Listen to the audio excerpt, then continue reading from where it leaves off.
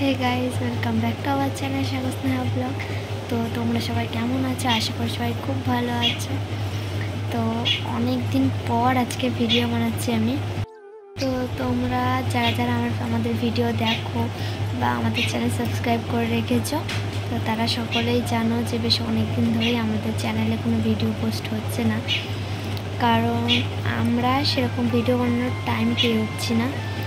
কারণ পুচকুর প্রচণ্ড শরীর খারাপ। তো তোমরা তো জানোই যে এখন বাচ্চাদের সবারই প্রায় বা শুধু বাচ্চাদের না, বড়দের বাচ্চাদের সবারই ঠান্ডা জ্বর কাশিতে এগুলো তো লেগেই আছে। তো আমারও আমারও শরীর খারাপ পুচকুরও শরীর খারাপ, এই কারণেই ভিডিওটা বানাতে পারছি না। তো পুচকুর আগে শরীর খারাপ হয়েছিল, তো পুচকুর শরীর খারাপটা ঠিক হয়ে গেছিল, তো তখন ভেবেছিলাম যে আবার ভিডিও স্টার্ট করব। কিন্তু হঠাৎ করে আমার শরীর আবার খারাপ হয়, তো ডাক্তার বাড়ি করতে করতে আর ভিডিও করা হয়ে ওঠেনি। তো যাব আমি আবার একটু সুস্থ হলাম, পুচকু আবার অসুস্থ। আর আমার আমার শরীর খারাপ হলেই তো পুচকুরও শরীর খারাপ করবে। তো তোমরা অনেক দিন ধরেই বলছো ফেসবুকে স্টোরি দিচ্ছি যখন অনেকে কমেন্ট করছ। তারপর ফেসবুকে অনেকে মেসেজ করছ দিদি, কেন ব্লগ আসছে না? কেন ভিডিও ছাড়ছো না? তো আমি তাদেরকে বলেছিলাম যে, অবশ্যই তোমাদেরকে জানাব যে, কেন আমি ভিডিও করতে পারছি না? অনেক সমস্যায় পড়েই আমি ভিডিও করতে পারছিলাম, নাহলে আমি ভিডিও অফ দিই না। তোমাদের আগের ভিডিওতে আমি বলেছিলাম যে ডেলি ব্লগ দেবো। কিন্তু ডেলি ব্লগ কয়েকদিন দেওয়ার পরই হঠাৎ করে এরসব হয়ে গেল, শরীর খারাপ সবার। তো ডেলি ব্লগ আর দেওয়াও হয়ে উঠল না। তো পুচকুর প্রথম দিন হঠাৎ করে মানে আমরা সেরকম বুঝতে পারিনি, রাত্রেবেলা একসাথে ঘুম হয় আর সকালবেলা উঠে দেখি গাটা হালকা গরম। তো বাচ্চাদের যেসব ওষুধ ওর তো ঘরে সবসময় সব রকম ওষুধ আনাই থাকে, তো জ্বরের ওষুধ, যে অ্যান্টিবায়োটিক সেগুলো তো খাওয়ালাম। খেয়ে কোনো রকম রেসপন্স হলো না, আবার সে সকালে সেরে গেল। তো তাও ওষুধটা কন্টিনিউ করছিলাম।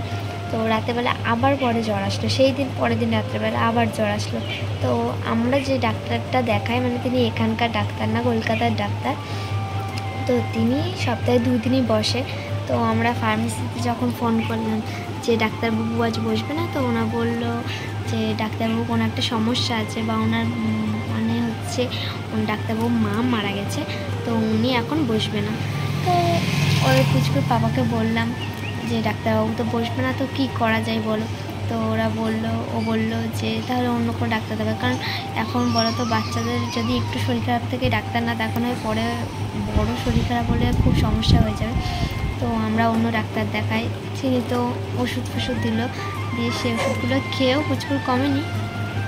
কে আছে উঠে পড়েছ? এই দেখ উঠে পড়েছে ঘুমাচ্ছে তাতে ওকে ঘুম পাড়িতে ভিডিও বানাচ্ছিলাম উঠে উঠল তো এই যে পুচকু উঠে পড়েছে ঘুম থেকে গল্প শুনে আমার কথার আওয়াজে উঠে বলল, ঘুম থেকে কেবলই ঘুম পাড়ালে একটু হয়তো ঘুম হয়নি, দেখতেই পাচ্ছে যে কেমন করে তাকাচ্ছে বাবা। ভয় দেখাচ্ছে ওর কাউকে? তো তো সেই ডাক্তারের ওষুধ খেয়ে তো ওর সেরকম কমলো না। তো আবার একটা ডাক্তার দেখালাম, আমি তার ওষুধ খেয়েও কমলো না। তো অনেক দিন মানে যেই ডাক্তারকে দেখায়, তার ওনার তো মা মারা গেছে মানে অনেক দিনই বসবে না। ফার্মেসিতে বারবার করে ফোন করছে যে অন্য কোথাও বসছে কিনা বা হসপিটাল ডিউটি দিচ্ছে কিনা সেখান থেকে দেখাবো। মানে আমাদের পুচকুর হয়ে থেকে মানে ওই ডাক্তারটাকে ডেকে রেখে আমার একটা অভ্যাস হয়ে গেছে মানে যা কিছুই হোক, যত ডাক্তারই দেখা ওনাকে না দেখালে কিছুতেই সারে না। তো ওই ডাক্তারের কাছ থেকে ফার্মেসি থেকে গিয়ে যে যে ডাক্তারকে আমরা দেখাই, সেই ডাক্তারের মানে ফোন করে শুনে কিছু ওষুধ দিল। তো সেই ওষুধগুলো খাইয়ে কমে গেল পুরোপুরি। তো তার যেদিন ওর কমলো তার পরের দিন হঠাৎ করে আবার আমার শরীর খারাপ। মানে আমার জ্বর, ঠান্ডাটা সেরকম ছিল না। তো আমার শরীর খারাপটা হচ্ছিল, বুকে ব্যথা করে আমার প্রচণ্ড। সেটা নিয়ে সেরকম ভিডিও বানাতে পারছিলাম না। আমি তো ঠিক করে পড়েছিলাম সারাদিন ঘরে। ঠিক করে খেতে ইচ্ছে করতো না, ঘুম পেতো না। তো তারপরে কিছুদিন পর আমাদের এখানে একটা ডাক্তার দেখায় তো টেস্ট ফেস্ট দিয়েছিলো, ওষুধ দিয়েছিল। তো সেগুলো খেয়ে আমার শরীর খারাপটা যাওয়া কমলো তো আমার শরীর খারাপ শেষের দুদিন পরে আবার ভাবলাম যে আমি একটু বেরোবো, ঘুরতে ঘুরতে যাব। তো তোমাদের সাথে তো আবার দেখা হবে ব্লগ বানাতে পারব। তো তারপর আবার পুচকুর শরীর খারাপ করল। এবার পুচকুর শরীর খারাপ করা, করার পর তো যে ডাক্তার দেখাই দিন চলেও এসেছিল। তো আমরা ভেবেছিলাম যে উনি ফার্স্ট যেদিন বসবে সেদিন চেক আপ করাবো। আর উনি কি মঙ্গলবার? তো মঙ্গলবার দিন রাত আটটায় বসে। তো এক নম্বরে তো নাম লেখানো হয় না। আর নাম লেখাতে কাছে লেট হয়ে যায়। এখান থেকে যেতে যেতে আটটায় বেরোতে মানে মানে নটায় টাইম দেয় যদি। তাহলে ওখানে দেখি আবার বাড়ি ফিরতে ফিরতে এগারোটা বেজে যাবে। সেখানে মঙ্গলবার দেখানো হয়নি। পরের দিন যেদিন ডেট ছিল সেই দিন তো ওকে নিয়ে গেলাম। তারপর তো এই যে উনি ওষুধ টষুধ একদিন দিল দু তিন দিন খেয়ে মানে দিয়ে, এমন ওষুধ দিয়েছে, দুদিন খেয়ে সেরকম সুস্থ হয়ে গেছে। তো এই কারণেই আমরা মানে কী বলতো কিছু শরীর খারাপ, আমার শরীর খারাপ, এত কিছু নিয়ে আর ভিডিও বানানো হয়ে উঠছিল না। তো ভেবেছিলাম ভিডিও করব, কিন্তু যদি না হয়ে ওঠে তার কিছু করার নেই। তো আজ অনেক দিন পর ভাবছি একটু বেরোবো কারণ ধরো গরম পড়ে গেছে আর ওর মানে সব শীতের জামা প্যান্ট কিনেছিলাম ওর, তারপর গরমে কিনেছি আমি অল্প জামা প্যান্ট তো দানো বাচ্চাদের হয় না, তো অনেক জামা প্যান্ট লাগে। তো ওর পাপাকে আজ বলছিলাম যে ওর অনেক জামা লাগবে কয়েকটা, তো আমাদের এখানেই আজ ফার্স্ট মানে আজ ফার্স্ট না সেকেন্ড টাইম দু তিন দিন হলো সেল বসেছে। কৃষ্ণনগরে চৈত্র সেল তো সেই সেলে যাব। তো যাই প্রতিবারই কিছু না কিছু কিনি। তো এবার তো কুচকু আছে, এবার কুচকু জিনিসই কিনতে হবে যে কয়েকটা গেঞ্জি আর জামা কিনে নিয়ে আসব কুচকুর জন্য। তো অনেকদিন পর আজকে ঘুরতে যাব, খুব এক্সাইটেড আমি অনেকদিন প্রায় বাড়িতে বসে কাজ বেরোবো, অনেকদিন পর তোমার দাদাভাই গিয়েছে অফিসে অফিস থেকে ফিরলে তারপর রেডি রেডি হয়ে, আমরা বেরোবো। দেখো বাবা। সবাই কি হ্যালো বলে দাও? হ্যালো বলে দাও। হ্যালো। এই যে এই যে আমাদের সোনা এখন পুরো সুস্থ, আমরা এখন, আমিও সুস্থ, আমরা এখন পুরো টেনশন মুক্ত সবাই। ওর বাবা তো প্রচুর টেনশন ছেলে নিয়ে এখনও মানে মেডিসিনগুলো তো শেষ হয়নি, শরীর ঠিক হলে মেডিসিনগুলো খাওয়াতে বলেছে ডাক্তার।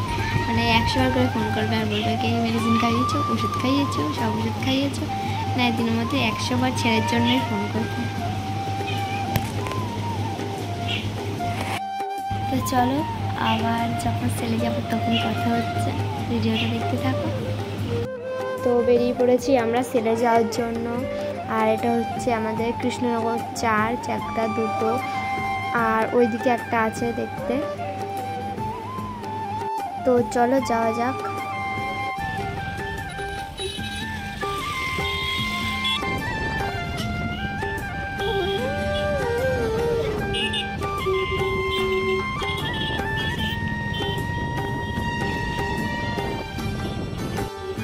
আমরা প্রায় সেলের কাছাকাছি চলে এসেছি। তো আর কিছুটা গেলে সেল বসেছে কৃষ্ণনগর পাবলিক লাইব্রেরির মাঠে, চৈত্র সেল।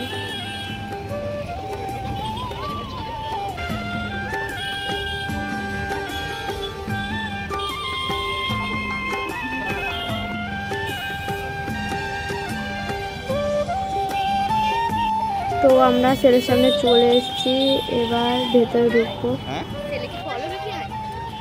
কিন্তু এখানে আমার কিসের সিনেমা বুঝলাম না ঠিক ব্যাপারটা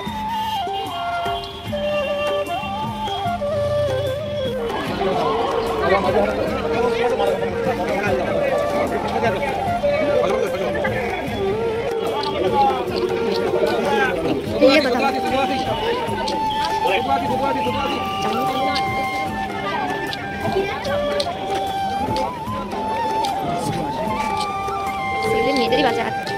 আমি একটা টাইমে কিনতাম বড় বড় বাচ্চাদের সব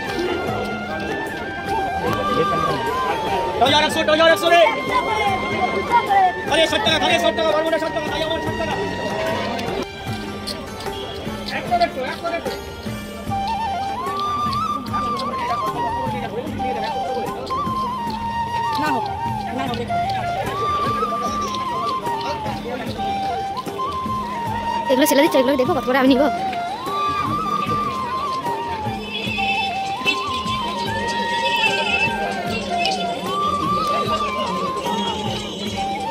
এই যে এই পুচকু দেখে নাও। তো আমাদের কেনাকাটা হয়ে গেছে এবার আমরা যাব চা খেতে।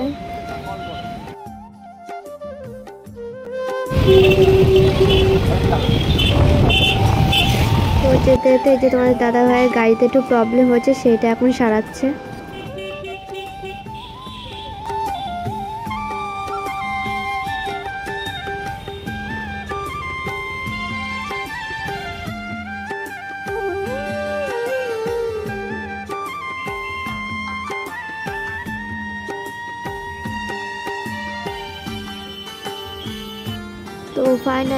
আমরা চলে এসেছি চা খেতে।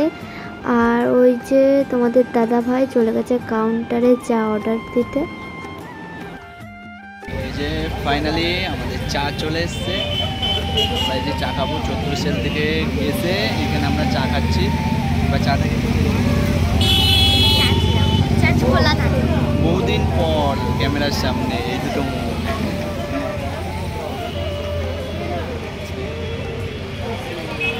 চা খেয়ে আমরা চলে এসেছি এই দোকানটাতে। তো এখান থেকে আমি অর্ডার দিয়েছিলাম হচ্ছে ফালুদা। তো সেটাই রেডি করছে এখানে।